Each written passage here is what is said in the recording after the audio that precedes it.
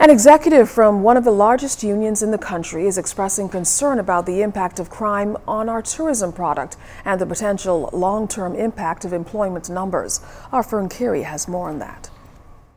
Hotel Union executive Darren Woods expressing concern about the potential damaging effect of rising crime on the country's tourism product, citing the recent U.S. Embassy advisory following the alleged sexual attack on a tourist. Woods appealed to all Bahamians and, in particular, persons working in the tourism industry to do all they can to protect the tourism product. A couple of uh post on Facebook where persons were actually telling people not from the cruise ships not to get off in, at the port of Nassau.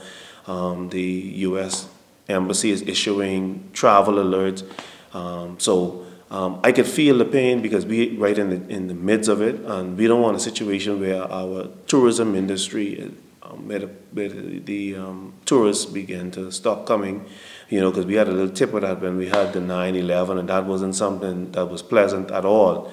And I want to encourage our person, personnel in the tourism industry, continue to work. Continue to do your best for the tourists. In addition, the union's general secretary indicated that more needs to be done to improve the labor climate in the country.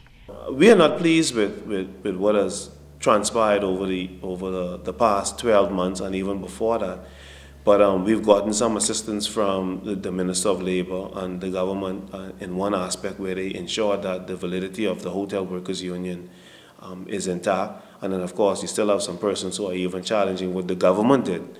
But um, as it relates to our relationship between us and the Employers Association, that is something that we definitely have to fix going forward. We have to find ways to coexist because we're all supposed to be working for the same common goal. He noted that the hotel union will continue working to uphold the constitutional rights of its members. Faced with a lot of challenges, uh, and it made seems as if we were unable to get our our thrust, the things that we wanted to do for our membership, because we were actually um, faced with kind of trying to stabilize the union, and ensure that the hotel workers union continue to exist.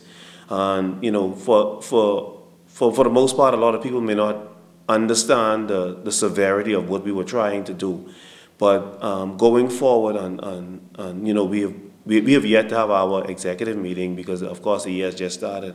And one of the things that we are looking at is see how best we can try to get some of the plans that we want to do for our membership done this year. Fern Carey, ZNS Network News.